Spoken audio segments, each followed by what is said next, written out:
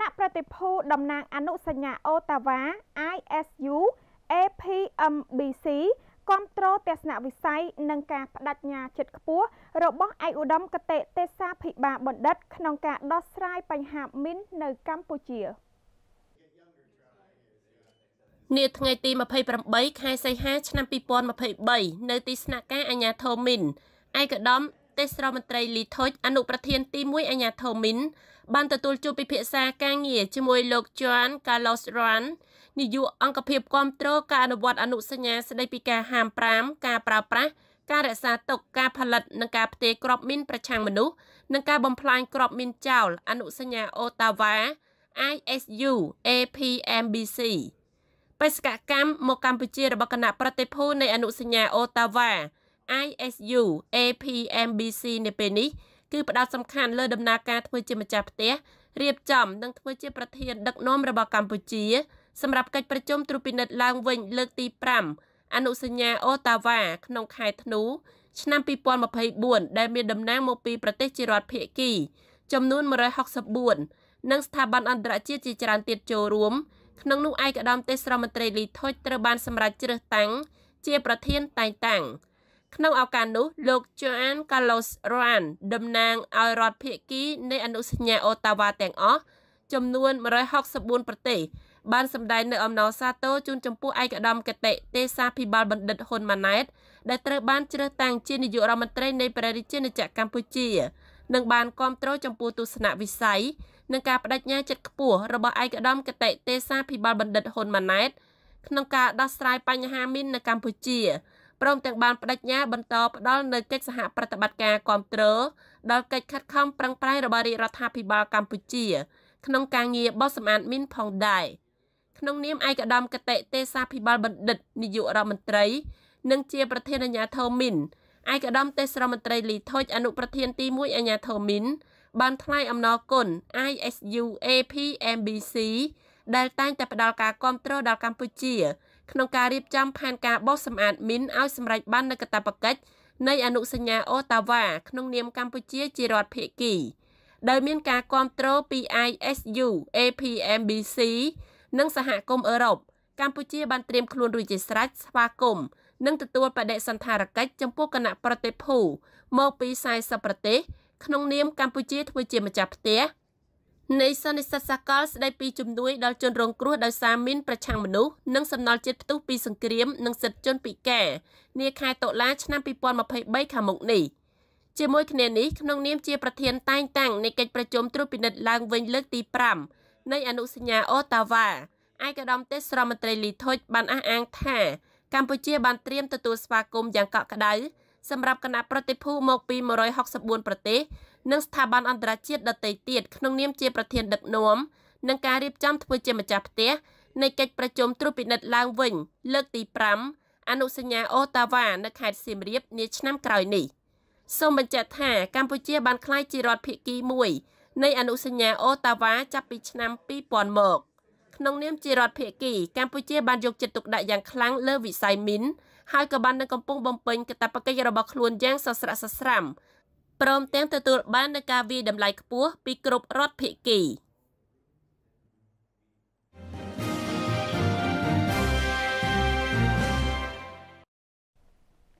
លោកអ្នកនាងជាទីគោរពឯកឧត្តមចាយបូរិនអញ្ជើញចូលក្រាបថ្វាយព្រះពរសម្ដេចព្រះអភិសិរិសុគន្ធា មហាសង្ឃរាជាធិបតីកតេឧទេសបណ្ឌិតបួគ្រី និងសម្ដេចព្រះសុមេធាធិបតីកតេឧទេសបណ្ឌិតនុនង៉ែត នៅវត្តបតុមវតីរាជធានីភ្នំពេញនារសៀលថ្ងៃទី27ខែសីហាឆ្នាំ2023ឯកឧត្តមចាយបូរិនរដ្ឋមន្ត្រីក្រសួងធម្មការនិងសាសនា អមដោយថ្នាក់ដឹកនាំក្រសួង បានអញ្ជើញចូលក្រាបថ្វាយព្រះពរសម្ដេចព្រះអភិសិរិសគុណធាមហាសង្ឃរាជាធិបតីគតិឧទេសបណ្ឌិតបួគ្រីសម្ដេចព្រះមហាសង្ឃរាជនៃគណៈធម្មយុតិកនិកាយនៃព្រះរាជាណាចក្រកម្ពុជា នៅវត្តបទុមវតីគណៈធម្មយុតិកនិកាយនិងសម្ដេចព្រះសុមេធាធិបតីគតិឧទេសបណ្ឌិតនុនង៉ែតសម្ដេចព្រះសង្ឃនាយកនៃគណៈមហានិកាយនៃព្រះរាជាណាចក្រកម្ពុជា នៅវត្តបទុមវតីគណៈមហានិកាយនឹងបានប្រកេនទេយទាននិងបច្ច័យក្នុងរដូវកាលបុណ្យចូលព្រះវស្សានេះផងដែរគួរបញ្ជាក់ថាពិធីបុណ្យចូលព្រះវស្សាគឺជាពិធីបុណ្យមួយដែលមានសារៈសំខាន់ក្នុងព្រះពុទ្ធសាសនា ជាពេលវេលាដ៏សំខាន់សម្រាប់ភិក្ខុសង្ឃនិងសាមណេរបានរៀនសូត្រធម៌វិន័យយ៉ាងខ្ជាប់ខ្ជួនតាមពុទ្ធអាវាតក្នុងឱកាសនេះដែរពុទ្ធសាសនិកជនតែងតែនាំយកសាដកអង្គភេសជ្ជៈ និងសម្ភារៈប្រើប្រាស់ផ្សេងផ្សេងទៅប្រគេនព្រះសង្ឃតាមលទ្ធភាពដើម្បីផ្គត់ផ្គង់ដល់ព្រះសង្ឃក្នុងរដូវកាលដែលមានភ្លៀងធ្លាក់ជោគជាំនេះក្នុងឱកាសនោះឯកឧត្តមចាយបូរិនរដ្ឋមន្ត្រីក្រសួងធម្មការនិងសាសនានិងថ្នាក់ដឹកនាំក្រសួង បានក្រាបថ្វាយព្រះពរដល់សម្ដេចព្រះអភិសិរិសគុន្ធា មហាសង្ឃរាជាធិបតីគតិឧទេសបណ្ឌិតបួគ្រី និងសម្ដេចព្រះសុមេធាធិបតីគតិឧទេសបណ្ឌិតនុនង៉ែតសូមឲ្យមានសុខភាពបរិបូរណ៍មាំមួនដើម្បីបន្តដឹកនាំវិស័យព្រះពុទ្ធសាសនាឲ្យបានរុងរឿងនាពេលបច្ចុប្បន្ននិងអនាគតក្នុងឱកាសនោះឯកឧត្តមចៃបូរិនក៏បាននាំយកទេយ្យទានគ្រឿងឧបភោគបរិភោគនិងបច្ច័យថ្វាយសម្ដេចព្រះមហាសង្ឃរាជនិងសម្ដេចព្រះសង្ឃនាយកក្នុងរដូវកាលចូលព្រះវស្សានេះផងដែរ។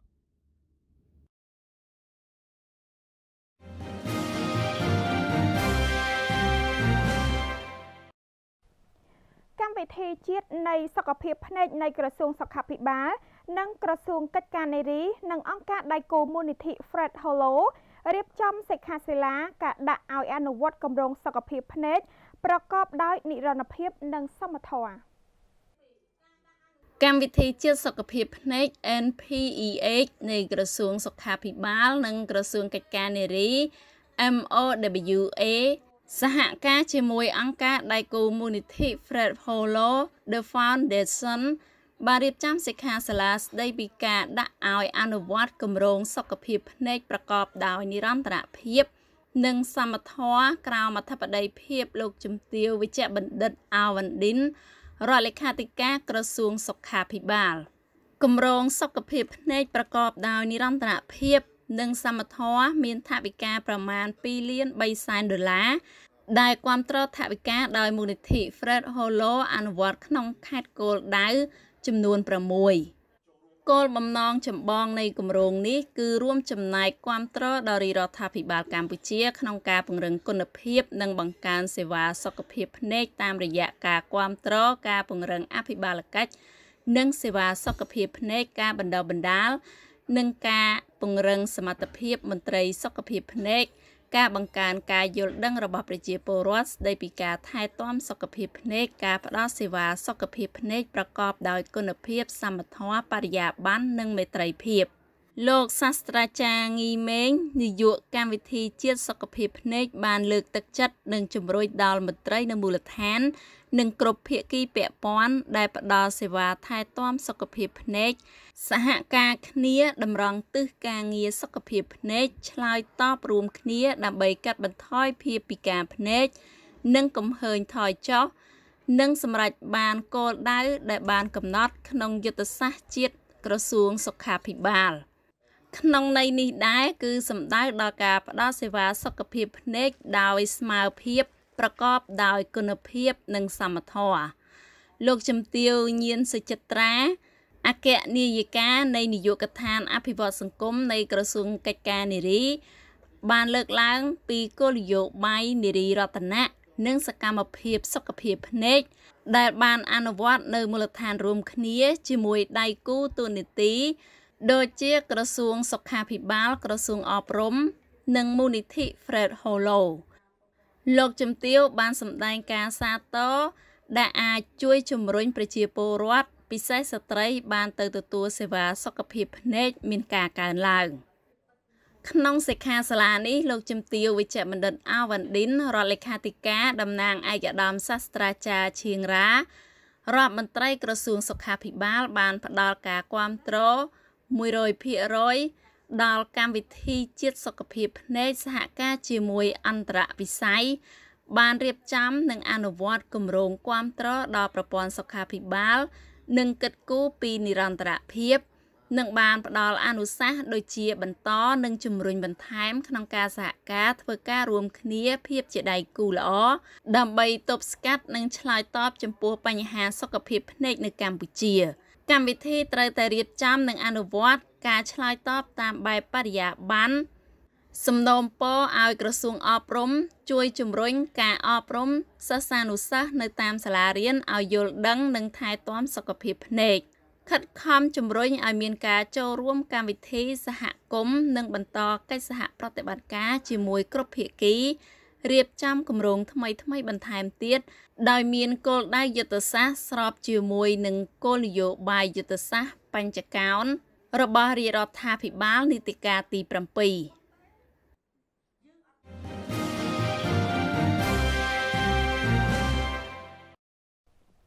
លោកអ្នកនាងជាទីគោរពត្បិតមិនទាន់បង្ហាញតួលេខតែភិក្ខីទាំង3នៃក្រមប្រឹក្សាជាតិប្រាក់ឈ្នួលអបបរមាបានពិភាក្សាគ្នាប្រកបដោយវិជ្ជាជីវៈនិងភាពចាស់ទុំ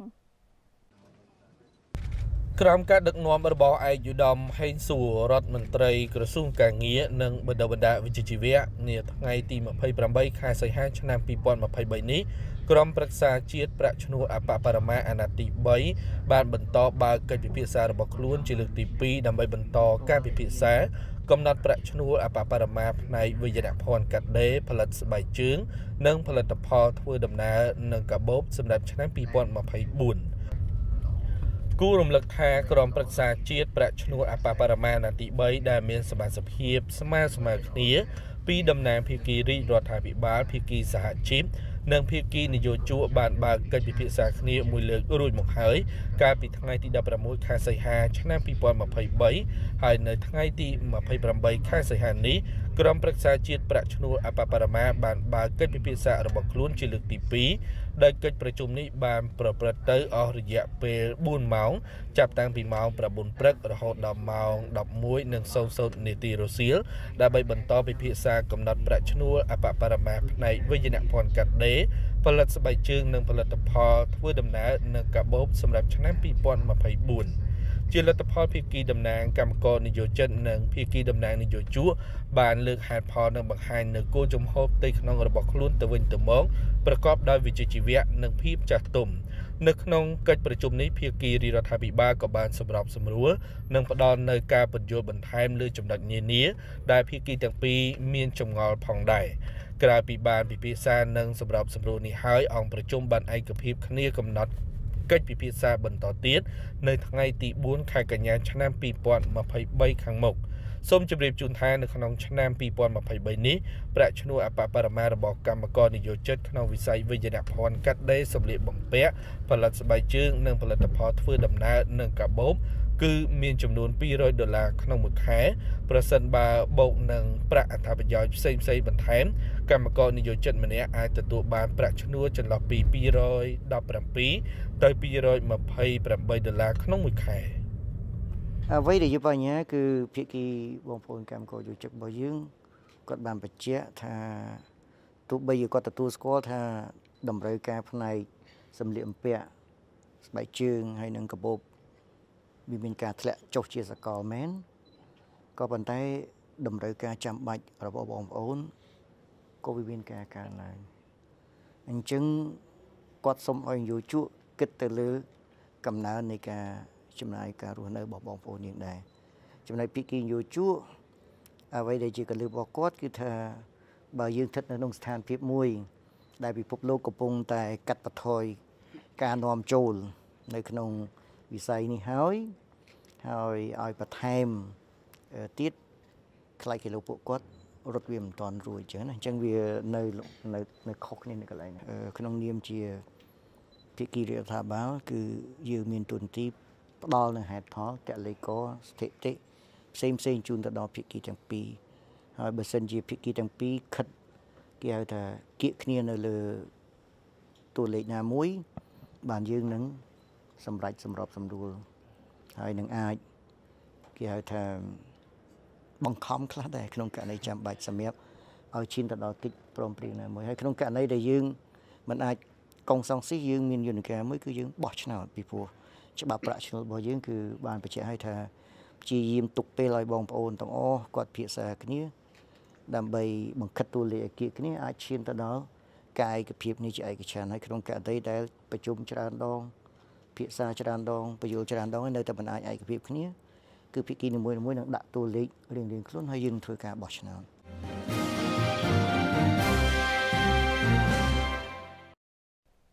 សាលាអន្តរជាតិច័ន្ទយុនប្រកុលវិញ្ញាបនបត្របញ្ចប់ថ្នាក់មត្តេយ្យសិក្សាកម្រិតខ្ពស់ថ្នាក់ទី6ទី9និងប្រកុលលិខិតសរសើរដល់គ្រូឆ្នើមនិងសិស្សពូកែប្រចាំឆ្នាំសិក្សា2022និង2023 សាលាអន្តរជាតិចាន់យុនដែលមានទីតាំងស្ថិតនៅភូមិព្រៃទា1សង្កាត់ចោមចៅទី3ខណ្ឌពោធិ៍សែនជ័យរាជធានីភ្នំពេញបានរៀបចំពិធីប្រគល់វិញ្ញាបនបត្របញ្ចប់ថ្នាក់មត្តេយ្យសិក្សាកម្រិតខ្ពស់ថ្នាក់ទី6ទី9និងប្រគល់លិខិតសរសើរដល់គ្រូឆ្នើមនិងសិស្សពូកែពីលេខ1ដល់លេខ3ប្រចាំឆ្នាំសិក្សា2022-2023ក្រោមអធិបតីភាពលោកជំទាវសឿសុជាតា អនុរដ្ឋលេខាធិការក្រសួងអប់រំយុវជននិងកីឡាតាមលោកណប់ច័ន្ទនាយកសាលាអន្តរជាតិច័ន្ទយុនបានឲ្យដឹងថា ការដែលសាលារបស់លោករៀបចំកម្មវិធីនេះឡើង គឺក្នុងគោលបំណងដើម្បីលើកទឹកចិត្តដល់សិស្សានុសិស្សដែលបានទទួលលទ្ធផលល្អប្រចាំឆ្នាំសិក្សានីមួយៗសម្រាប់ជាកត្តាជំរុញឲ្យសិស្សខិតខំប្រឹងប្រែងសិក្សារៀនសូត្រឲ្យបានខ្លាំងក្លាថែមទៀត និងជាការលើកទឹកចិត្តដល់គ្រូឆ្នើមដែលបានប្រឹងប្រែងអស់ពីកម្លាំងកាយចិត្តក្នុងការផ្ដល់ការបណ្ដុះបណ្ដាលដល់សិស្សានុសិស្សឲ្យមានសិលធម៌ល្អចេះគោរពវិន័យនិងមានចំណេះដឹងពិតប្រាកដប្រកបដោយគុណភាពคล้ายជាទំពាំងស្នងឫស្សីសម្រាប់ប្រទេសជាតិនាពេលអនាគតម្យ៉ាងទៀតការជួបជុំគ្នានាពេលនេះក៏ដើម្បីរៀបចំពិធីបញ្ចប់ថ្នាក់មត្តេយ្យសិក្សាកម្រិតខ្ពស់ ឆ្លងទៅកម្រិតបឋមសិក្សា បញ្ចប់ថ្នាក់ទី6ឆ្លងទៅកម្រិតអនុវិទ្យាល័យនិងបញ្ចប់ថ្នាក់ទី9ទៅកម្រិតវិទ្យាល័យលោកណប់ចាន់បានបន្ថែមថាសាលាអន្តរជាតិចាន់យុនមានថ្នាក់បណ្ដុះបណ្ដាលចាប់ពីកម្រិតមត្តេយ្យសិក្សាដល់ថ្នាក់ទី12ដោយសាលាបានបញ្ចូលកម្មវិធីសិក្សាជា3ភាសា គឺចំណេះដឹងទូទៅភាសាខ្មែរស្របតាមកម្មវិធីរបស់ក្រសួងអប់រំយុវជននិងកីឡា ភាសាអង់គ្លេសនិងភាសាចិនចាប់ពីកម្រិតបឋមសិក្សាឡើងទៅអឺក្នុងការរៀបចំកម្មវិធីនេះឡើងគឺទី1គឺយើងចែកវិញ្ញាបនបត្រដល់សិស្សបញ្ចប់ថ្នាក់មត្តេយ្យកម្រិតខ្ពស់បាទដើម្បីគាត់ឆ្លងទៅថ្នាក់ភូមិសិក្សាគឺបឋមសិក្សាហើយសិស្សបញ្ចប់ថ្នាក់ទី6សិស្សបញ្ចប់ថ្នាក់ទី9ដើម្បីគាត់ឈានទៅរៀននៅវិទ្យាល័យបាទហើយគោលបំណងនៃការធ្វើកម្មវិធីនេះឡើងដើម្បីជាការជំរុញលើកទឹកចិត្តសិស្ស ឲ្យគាត់មានការរៀនស្វះស្វែងរៀនឬក៏ស្វ័យសិក្សាបានយ៉ាងផុសផុលថែមទៀតដើម្បីធ្វើម៉េចឲ្យគាត់បានចំណេះដឹងពិតប្រាកដពីសាលាអន្តរជាតិចាន់យុនបាទជាចុងក្រោយក្នុងនាមខ្ញុំជាគណៈគ្រប់គ្រងសាលាអន្តរជាតិចាន់យុនសូមថ្លែងអំណរគុណដល់អស់លោកលោកស្រីអឺលោកជំទាវឯកឧត្តមដែលជាទុតិយគណិកជន ហើយនិងអស់លោកលោកស្រីដែលជាមេដាបេដាសិស្សអឺលោកគ្រូអ្នកគ្រូបុគ្គលិកគណៈគ្រប់គ្រងអឺសិស្សានុសិស្សទាំងអស់ ដែលមានវត្តមាននៅព្រឹកនេះហើយចំណាយពេលដែលមានតម្លៃក្នុងការចូលរួមកម្មវិធីនេះដើម្បីឲ្យកូនបានដឹងនៅកម្មវិធីនៃការបញ្ចប់វគ្គសិក្សានីមួយៗហើយនឹងពិសេសទៀតសោតក្នុងនោះយើងក៏បានភ្ជាប់ជាមួយនឹងសិស្សដែលពូកែគឺពីលេខ1ដល់លេខ3ក៏ចូលរួមក្នុងកម្មវិធីនឹងដែរហើយនឹងមួយទៀតគឺសិស្សដែលមានអិរិយាបថនិងអត្តចរិតល្អក៏សាលាលើកតម្កើងនឹងនឹងផ្ដល់ជា certificate ជូនផងដែរបាទ ក្នុងឱកាសនោះលោកជំទាវសឿសុជាតាអនុរដ្ឋលេខាធិការក្រសួងអប់រំយុវជននិងកីឡាបានចូលរួមអបអរសាទរចំពោះការខិតខំប្រឹងប្រែងក្នុងការសិក្សារៀនសូត្ររបស់សិស្សានុសិស្សនៃសាលាអន្តរជាតិចានយុនរហូតទទួលបានលទ្ធផលល្អប្រសើរហើយសង្ឃឹមថាសិស្សានុសិស្សទាំងអស់នឹងខិតខំប្រឹងប្រែងបន្តទៀតដើម្បីក្លាយជាធនធានមនុស្សប្រកបដោយគុណភាពសម្រាប់ចូលរួមអភិវឌ្ឍប្រទេសជាតិនាពេលអនាគត ស្របតាមចក្ខុវិស័យរបស់រាជរដ្ឋាភិបាល ដែលបានចាត់ទុកវិស័យអប់រំជាវិស័យអាទិភាពមួយបន្ទាប់មកលោកជំទាវសឿសុជាតាអមដោយលោកណប់ច័ន្ទនាយកសាលាអន្តរជាតិច័ន្ទយុនក៏បានប្រកល់វិញ្ញាបនបត្របញ្ចប់ថ្នាក់មត្តេយ្យសិក្សាកម្រិតខ្ពស់ដល់សិស្សចំនួន110នាក់សិស្សបញ្ចប់ថ្នាក់ទី6និងទី9សរុប44នាក់ និងប្រគល់បានសរសើរដល់សិស្សពូកែពីលេខ1ដល់លេខ3សរុប87នាក់សិស្សទទួលបានផ្នែកអាកប្បកិរិយាល្អបំផុតចំនួន42នាក់និងប្រគល់លិខិតសរសើរដល់គ្រូឆ្នើម3រូបផងដែរ។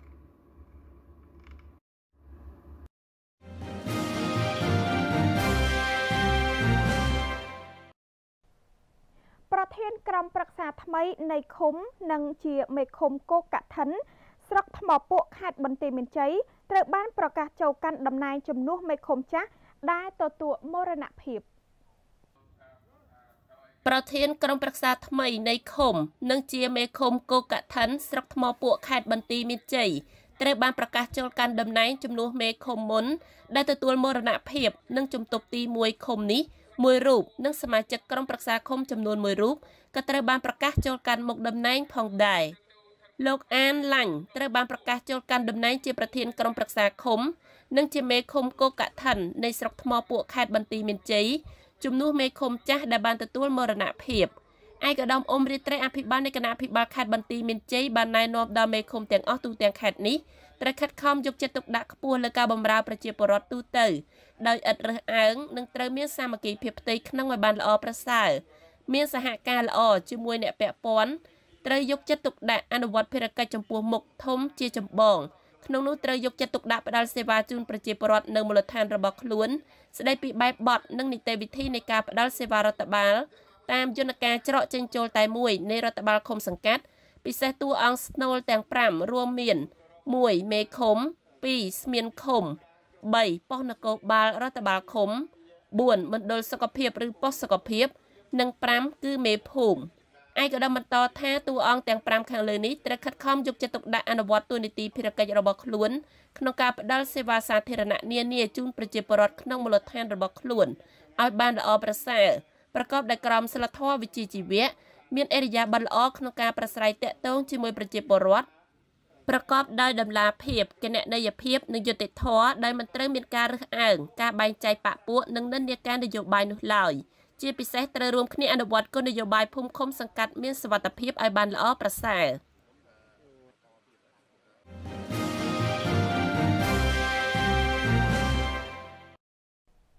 អភិបាលខេត្តពោធិ៍សាត់បានប្រាប់ឲ្យប្រជាពលរដ្ឋរាយការណ៍ជូនអាជ្ញាធរនៅពេលដែលជួបបញ្ហាប្រឈមក្នុងមូលដ្ឋាន។ ឯកឧត្តមខុយរីដាអភិបាលនៃគណៈអភិបាលខេត្តពោធិ៍សាត់បានប្រាប់ដល់ប្រជាពលរដ្ឋឲ្យរាយការណ៍ជាបន្ទាន់ទៅអាជ្ញាធរដែនដីប្រសិនបើមានករណីជួបបញ្ហាប្រឈមនានាដែលកើតមាននៅក្នុងមូលដ្ឋានដើម្បីរួមគ្នាដោះស្រាយនិងជួយអន្តរាគមន៍ឲ្យបានទាន់ពេលវេលា ឯកឧត្តមលើកឡើងបែបនេះនៅពេលដឹកនាំក្រុមការងារនៅមន្ទីរជំនាញរួមមានមន្ទីរកសិកម្មរុក្ខាប្រមាញ់និងនេសាទខេត្តមន្ទីរធនធានទឹកនិងអូតូនិយមខេត្តចូលពិនិត្យស្ថានភាពដំណាំស្រូវរបស់ប្រជាកសិករជួបគ្រោះរាំងស្ងួតប្រមាណ200ហិកតានៅភូមិផ្សារលើ សង្កាត់លលោកសក្រុងពោធិ៍សាត់តាមលោកចាប់នាងអភិបាលនៃគណៈអភិបាលក្រុងពោធិ៍សាត់បាននៅដឹងថា ការងារបង្កបង្កើនផលស្រូវរដូវវស្សាគិតមកដល់សប្តាហ៍ទី3ខែសីហាឆ្នាំ2023សម្រេចបាន12819ហិកតា លើផែនការ14606ហិកតាក្នុងនោះស្រូវស្រាល8354ហិកតា ស្រូវកណ្ដាល3375ហិកតា និងស្រូវធ្ងន់1090ហិកតា ចំពោះសង្កាត់លលោកសវិញ ការងារបង្កបង្កើនផលសម្រាប់បាន2923ហិកតា លើផែនការ2517ហិកតា ក្នុងនោះស្រូវស្រាល2373ហិកតា ស្រូវកណ្ដាល540ហិកតា និងស្រូវធ្ងន់10ហិកតា ជាទូទៅការងារបង្កបង្កើនផលឆ្នាំនេះក៏ដោយបណ្ដាឆ្នាំកន្លងមកឃើញថាធម្មជាតិ មានអំណោយផលល្អប្រសើរតែទោះជាយ៉ាងនេះក៏ដោយក៏នៅតំបន់មួយចំនួនជួបកង្វះខាតទឹក ជាហេតុធ្វើឲ្យផលដំណាំស្រូវអាចខូចខាតជាក់ស្ដែងនៅក្នុងភូមិផ្សារលើ សង្កាត់លលោកសស្រូវរដូវវស្សាជាង200ហិកតាជាសក្ខីភាពស្រាប់ក្នុងការធ្វើអន្តរាគមជាបន្ទាន់ដែលឡែកនៅឃុំកោះជុំស្រុកកណ្ដៀងបើតាមលោកមនស៊ីមានមេឃុំកោះជុំបានឲ្យដឹងថា ស្រូវរដូវវស្សាសម្រេចបាន3360ហិកតាលើផែនការ3361ហិកតាក្នុងនោះស្រូវស្រាល1644ហិកតាស្រូវកណ្ដាល1589ហិកតានិងស្រូវធ្ងន់127ហិកតាក៏ជួបបញ្ហាខ្វះខាតទឹកឯកឧត្តមខូរីដាបានលើកឡើងថាស្ថានភាពបង្កបង្កើនផលទូទាំងខេត្តពោធិ៍សាត់ឆ្នាំនេះ មានដំណើរផលល្អច្រើនដោយសារមានប្រភពទឹកពីជួរភ្នំក្រវាញហូរចូលស្ទឹងពោធិ៍សាត់និងមានទំនប់ស្ទាក់ទឹកនិងប្រឡាយមេប្រឡាយរងសំខាន់សំខាន់ដូចជាទំនប់ដំណាក់អំពិលទំនប់ចារឹកទំនប់ដំណាក់ឈើក្រំ និងអាងលេខ3និងលេខ5ដែលអាចតម្កល់ទឹកបានរហូត50លានម៉ែត្រគីបទោះជាយ៉ាងនេះក៏ដោយក៏មិនអាចស្រោចស្រពបានគ្រប់ទីកន្លែងនោះទេ គឺមានតែទឹកភ្លៀងទើបអាចស្រោចស្រពបានគ្រប់ទីកន្លែងឯកឧត្តមបានទទួលស្គាល់ថាការជួបគ្រោះរាំងស្ងួតតែងតែកើតមាននៅតំបន់មួយចំនួន ជាពិសេសនៅតំបន់ឆ្ងាយពីប្រភពទឹក និងមិនទាន់មានទំនប់ប្រឡាយជាដើមដូចនេះការជួយសង្គ្រោះផលដំណាំស្រូវនិងស្រូវដែលកំពុងជួបគ្រោះរាំងស្ងួត ជាង200ហិកតានៅក្នុងភូមិផ្សារលើ សង្កាត់លលោកស តម្រូវឲ្យមន្ទីរធនធានទឹកនិងអូតូនិយមខេត្ត ជួយឧបត្ថម្ភប្រេងសម្រាប់បូមទឹកពីស្ទឹងទម្លាក់ចូលស្រែជាបន្ទាន់ជាមួយគ្នានោះឯកឧត្តមបានអំពាវនាវដល់ប្រជាកសិករឲ្យប្រញាប់រាយការណ៍ក្នុងករណីជួបបញ្ហាប្រឈមនានាជូនអាជ្ញាធរមូលដ្ឋានដើម្បីរួមគ្នាជួយធ្វើអន្តរាគមន៍ឲ្យបានទាន់ពេលវេលានៅរសៀលថ្ងៃនោះដែរឯកឧត្តមបានដឹកនាំនឹងដាំកូនច្រេះចំនួន150ដើមជុំវិញបរិវេណរណ្ដៅដីមួយកន្លែង នៅក្នុងភូមិផ្សារលើសង្កាត់លលោកស ដើម្បីទុកជាម្លប់និងជាលំអដែលសកម្មភាពនេះក៏មានការចូលរួមពីមន្ត្រីសាលាខេត្តមន្ត្រីមន្ទីរកសិកម្មរុក្ខាប្រមាញ់និងនេសាទខេត្តរដ្ឋបាលក្រុង សម្ព័ន្ធយុវជនស្រឡាញ់សន្តិភាពកម្លាំងប្រជាការពារភូមិនិងប្រជាពលរដ្ឋមួយចំនួនផងដែរ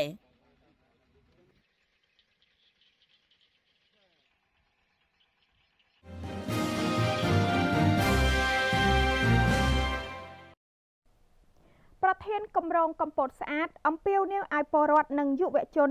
ចូលរួមសម្អាតផ្សព្វផ្សាយនិងដើរតួនាទី ជាសកម្មជនបរិស្ថានកម្ពុជាស្អាត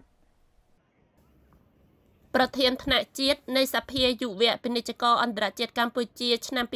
2023និងប្រធានគម្រោងកម្ពុជាស្អាតបានជំរុញលើកទឹកចិត្តឲ្យប្រជាពលរដ្ឋសិស្សានុសិស្សយុវជនអាជីវករអ្នកផ្ដល់សេវាទេសចរចូលរួមថែរក្សានិងផ្សព្វផ្សាយបរិស្ថានអនាម័យស្អាត ពិសេសត្រូវធ្វើជាសកម្មជនបរិស្ថានកម្ពុជាស្អាតដើម្បីលើកកម្ពស់វិស័យទេសចរនិងជំរុញចលនាទីក្រុងស្អាតគ្មានផ្លាស្ទិកក្នុងយុទ្ធនាការរត់ចេញដំណើរពីរង្វង់មូលធុរេនទៅកាន់ឆ្នេរកោះស្មៅប្រធានគម្រោងកម្ពុជាស្អាតឆ្នាំ2023លោកឆេងកែវណារ៉ាពុងបានឲ្យដឹងថាគម្រោងកម្ពុជាស្អាតត្រូវបានបង្កើតដំបូងនៅឆ្នាំ2019ដើម្បីផ្សព្វផ្សាយចែករំលែកសារអប់រំសំខាន់សំខាន់ ពាក់ព័ន្ធនឹងការថែរក្សាបរិស្ថានអនាម័យដែលឡែកឆ្នាំនេះគម្រោងបានធ្វើយុទ្ធនាការ5000ជំហានដើម្បីកម្ពុជាស្អាតក្រោមប្រធានបទផ្ដើមទម្លាប់ស្អាតដើម្បីអ្នកចំនួនក្រោយបាទអរគុណច្រើនបងសម្រាប់គម្រោងកម្ពុជាស្អាតនេះគឺចាប់ផ្ដើមតាំងពីឆ្នាំ2019ដែលគេបានយកគំរូតាមគម្រោងរបស់ភ្នំពេញស្អាតហើយដែលយើងជាធម្មតាគឺគោលដៅនៃគម្រោងនេះគឺតែងតែផ្ដោតទៅលើការផ្សព្វផ្សាយហើយ និងការចែករំលែកអំពីការផ្ដល់ទម្លាប់ស្អាតនៅទៅកាន់ប្រជាពលរដ្ឋនៅខេត្តកំពតនៅក្រុងកំពតនេះបាទហើយនៅឆ្នាំ2022គឺយើងបានចុះមកធ្វើសិក្ខាសាលាចំនួន2លើកផងដែរជារៀងរាល់ឆ្នាំគឺយើងមានកម្មវិធីធំមួយដែលឆ្នាំនេះគឺយើងបានរៀបចំជាលក្ខណៈរត់ជាលក្ខណៈរត់ mini fun run ជាលក្ខណៈ5000ជំហានដែលមានកម្រងនោះគឺ5000ជំហានដើម្បីកម្ពុជាស្អាត ប្រធានថ្នាក់តំបន់នៃសភាយុវពាណិជ្ជករអន្តរជាតិកម្ពុជា សាខាមេគង្គឆ្នាំ2023លោក Lee David បានឲ្យដឹងដែរថាប្រធានបទផ្ដើមទម្លាប់ស្អាតដើម្បីចំនួនក្រោយតាមរយៈការរត់5000ជំហានដើម្បីបំផុសឲ្យគ្រប់គ្នាចូលរួមសកម្មភាព3សំខាន់គឺ ទី1ការបដិសេធទី2ការកាត់បន្ថយ និងទី3ការប្រើប្រាស់ឡើងវិញនៅសម្ភារៈប្រើប្រាស់វេចខ្ចប់ផ្សេងផ្សេងអឺ សារសំខាន់នៃការរត់5000ជំហាននេះគឺយើងចង់ចែករំលែកឲ្យអ្នកចូលរួមគាត់បានដឹងអំពីសារនៅក្នុងឆ្នាំ2023នេះដែលយើងមានអត្ថន័យថាផ្ដើមទម្លាប់ថ្មីដើម្បីចំនួនក្រោយបាទហើយសម្រាប់សារមួយនេះគឺយើងនឹងប្រផុសឲ្យគាត់តាមរយៈការបដិសេធការកាត់បន្ថយនិងការប្រើប្រាស់ឡើងវិញ នៅសំណល់ផ្លាស្ទិកដែលមិនចាំបាច់បាទ បាទហើយរបស់ណាដែលយើងអាចកាត់បន្ថយបានយើងកាត់បន្ថយរបស់ណាដែលយើងបដិសេធមិនប្រើបានគឺយើងបដិសេធប្រធានថ្នាក់ជាតិនៃសភាយុវពាណិជ្ជករអន្តរជាតិកម្ពុជាឆ្នាំ2023លោកខឹមប៉ូឡែនបានសន្និដ្ឋានថាបន្ទាប់ពីអនុវត្តគម្រោងកម្ពុជាស្អាតប្រជាពលរដ្ឋមានការយល់ដឹងច្រើនយុវជនក៏បានចូលរួមយ៉ាងផុសផុលប៉ុន្តែដោយសារខេត្តកំពតជាគោលដៅទេសចរដែលតែងតែមានភ្ញៀវមកលេងច្រើន វត្តមានសម្រាមនៅតែមានទាមទារឲ្យពលរដ្ឋយុវជន អាជីវករអ្នកផ្ដល់សេវាទេសចរចូលរួមសម្អាតទុកដាក់កាកសំណល់សម្រាមឲ្យបានត្រឹមត្រូវនិងចូលរួមផ្សព្វផ្សាយហើយធ្វើជាសកម្មជនបរិស្ថានកម្ពុជាស្អាតដើម្បីលើកកម្ពស់វិស័យទេសចរនិងជំរុញដល់ចលនាប្រឡងប្រណាំងទីក្រុងស្អាត។សម្រាប់ខ្ញុំខ្ញុំគិតថាយើងគួរតែមានវេទិកាប្រចាំឆ្នាំ ដែលមានការចូលរួមជាពិសេសគឺការគ្រប់គ្រងពីអាជ្ញាធរមូលដ្ឋានជាមួយនឹងផ្នែកពាក់ព័ន្ធទាំងវិស័យឯកជនទាំងប្រជាពលរដ្ឋទាំងសិស្សសាលាទាំងអីហ្នឹងដើម្បីនាំគ្នាជជែកជជែកហើយជជែកទៀតពីរឿងបានថាពីរឿងដែលយើងអាចចូលរួមបុគ្គលម្នាក់ម្នាក់អាចចូលរួមបានទាំងអស់គ្នាអញ្ចឹងណាបាទហើយអ្នកដែលចូលរួមហើយកុំចូលរួមហើយសូមផ្សព្វផ្សាយទៀតអញ្ចឹងណាធ្វើជាហៅថា សកម្មជនបរិស្ថាន សកម្មជនកម្ពុជាស្អាតទាំងអស់គ្នាបាទជា ambassador ទាំងអស់គ្នាអានេះខ្ញុំគិតថាធម្មតាបើសិនបើយើងឃើញមនុស្សម្នាក់គាត់អត់ចោលសម្រាមយើងក៏អត់ហ៊ានចោលដែរតែបើមនុស្សម្នាក់គាត់ចោលសម្រាមគាត់នឹងគិតថារឿងជារឿងធម្មតាគាត់ចាប់តចោលដែរអញ្ចឹងអ្នកចូលរួមសូមជួយផ្សព្វផ្សាយបន្ថែមទៀតបាទយុទ្ធនាការរត់5000ជំហានដើម្បីកម្ពុជាស្អាតមានសិស្សានុសិស្សនិងសាធារណជនចូលរួមប្រមាណជាង500នាក់ រង្វាន់ជាលិភីទទួលបានអាវយឺតកម្ពុជាស្អាត1ថង់បរិស្ថាន1ដបទឹកបរិស្ថាន និងមេដាយ1